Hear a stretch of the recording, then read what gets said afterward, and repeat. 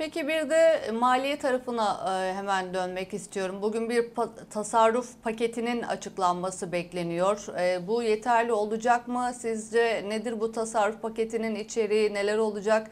Neler düşünüyorsunuz? Ee, tabii ki tasarruf olunca e, adı üzerinde mutlaka bir ülke ekonomisine katkısı olacaktır. Ee, Sayın Cevdet Yılmaz ve Sayın Hazine Maliye Bakanı Mehmet Şimşek beraber bunun sunumunu yaptı kamuoyuna. Ee, bu kamu e, tedbirleri, kamunun tasarrufları ülke ekonomisine cari açığa e, ciddi bir anlamda destek verecektir. E, geç kalınmış kararlar ancak yine de tamamen 2025 yılının sonuna kadar bu tasarruflar ülke ekonomisine ciddi anlamda katkı sağlayacağını ben söyleyebilirim.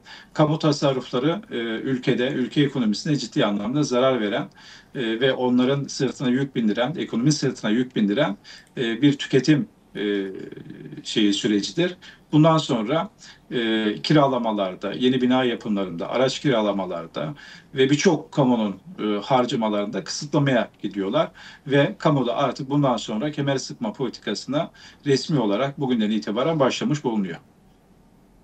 Peki bir de çalışanlar e, kısmında bir e, sesler yükselmeye başladı. Özellikle vergi kısmında özellikle çalışanların, asgari ücretle çalışanların vergilerin büyük bir çoğunluğunu karşıladığı, bütün giderleri karşıladığı e, söyleniyor. Bununla ilgili bir düzelme söz konusu mu? Böyle bir hazırlık var mı? Nedir buradaki son durum? Yani bu yıl için biraz daha zor olduğunu düşünüyorum. Yani e, şu anda ekonomi yönetiminin almış olduğu tedbirler ve kararlarla birlikte e, işte iyimserlik devam ediyor. Kredi notları artıyor. İşte enflasyon tarafında bazı etkili bir düşüş bekleniyor. E, döviz kurunun yükselişi e, biraz daha sınırlı kaldı. Dolayısıyla bu süreci biraz daha öteleyebilirler diye düşünüyorum. Peki eklemek istedikleriniz varsa onları da almak isterim. Ee, bu hafta küresel piyasalara odaklanacağız. Mayıs ayı genel itibariyle rehavet ayı ve e, manipüle edilmiş fiyatlar var karşımızda. Genel itibariyle e, altın, dolar karşısındaki ka- varlıklarda, altın, gümüş veya paritelerde e, çarşamba günden itibaren e, veya yarından itibaren bir geri çekilme olacaktır. E, ama e, bundan sonraki süreçler için hazırlık yapmak için e, artık yatırımcılar fiyata değil miktara odaklanmalı. Peki çok teşekkür ederim değerli yorumlarınız Ben ve katkılarınız için.